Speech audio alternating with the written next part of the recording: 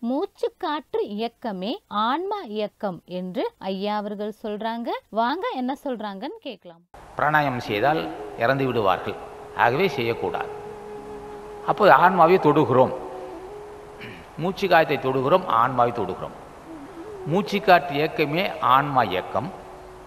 ஆன்மா இயக்கமே மனசு ஆன்மாவே மனம் என்று இருக்கு. இப்போ மூச்சு காற்று இயக்கமே கருவிகணங்கள் இயக்கம்.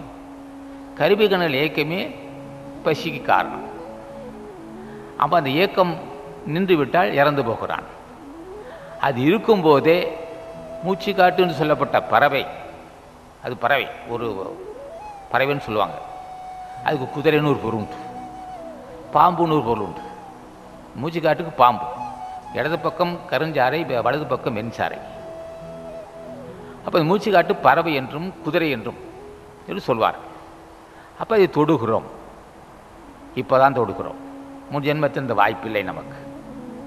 யாரேனும் ஒருவன் சுட்டி காட்ட வேண்டும். சுட்டி காட்ட சுட்டி காட்டினாலும் எடுத்ததும் பிராணாயாமம் சொல்லக்கூடாது. ஞானிகள் ஆசை பெற்று மாத இரவுக்கு அன்னதானம் செய்யுங்கள் ஒரு ஒருவருக்காவது அன்னதானம் செய்யுங்கள். பொது புண்ணியத்தை தேடிக்கொள்ளுங்கள் என்று சொல்ல வேண்டும். எடுத்ததும் பிராணாயம் செய்யணும்னு சொல்லக்கூடாது. வெறுங்கையில் என்ன வெறுங்கை முளம் போடுமோ?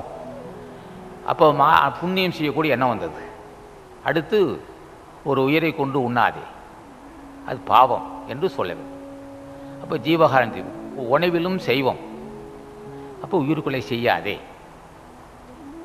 அப்போ ரெண்டு பெரிய ஒரு கொள்கை. உயிர்கொலை செய்தல் புலால் உண்ணாதிருத்தல். மாமிசம் சாப்பிடாம இருக்க இப்போ மாமிசம் அல்லது மட்டன் ஆட்டுக்கறி கோழிக்கறி சாப்பிடக்கூடாது. ஒரு உயிரை கொண்டு சாப்பிட்டால் எந்த அளவுக்கு அந்த உயிர் அல்லல் பட்டதோ அந்த அளவுக்கு நம்ம அல்லல் பட வேண்டிய சூழ்நிலை வரும். அசைவ உணவு அப்போ இந்த இந்த ஆன்மா நல்லபடி இருக்க வேண்டுமென்றால் மற்ற ஒரு ஆன்மாவை கொன்று அந்த உடம்பை உண்ணக்கூடாது. அல்லது மற்ற ஆடு கோழியால் கோயிலுக்கோ ஏதோ கொன்றால். அதோட விளைவு அந்த ஆன்மா எந்த அளவுக்கு அல்லல் பட்டதோ அந்த அளவுக்கு நமக்கு அறியாமை வந்துவிடும். அறியாமை என்பது புலப்படாத ஒரு அறிவு. அப்போ உயிர்கொலை செய்ய மாட்டேன். சிறப்பான அறிவு. புலால் உண்ண மாட்டேன். சிறப்பான அறிவு மாத ஒருவருக்கு இருவருக்கு அன்னதானம் செய்வேன் சிறப்பான அறிவு யார் மனதையும் புண்படப்பட்ட புண்பட பேச மாட்டேன். என் பேச்சால் பிறர் மனம் புண்படக்கூடாது. அது ஆசான் தான் ஒரு செய்ய வேண்டும் ஆசானை கேட்க வேண்டும். நான் புலால் உண்ணவில்லை நல்ல கொள்கையை.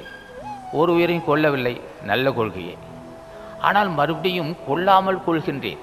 அது என்ன பெருமனம் புண்பட பேசுவேன். நானே பேசியிருக்கிறேன். அது கொள்ளாமல் கொள்வது. உயிரை கொண்டால் அதோடு இறந்துவிடும். அது மனைவி இருக்கிறாள். சந்தேகம் வரும்.